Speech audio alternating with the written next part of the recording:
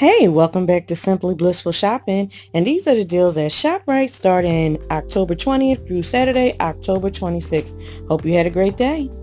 This is week four of those bonus coupons where we get $5 off of 50 and a free bag of yellow onions, three pounds only, okay?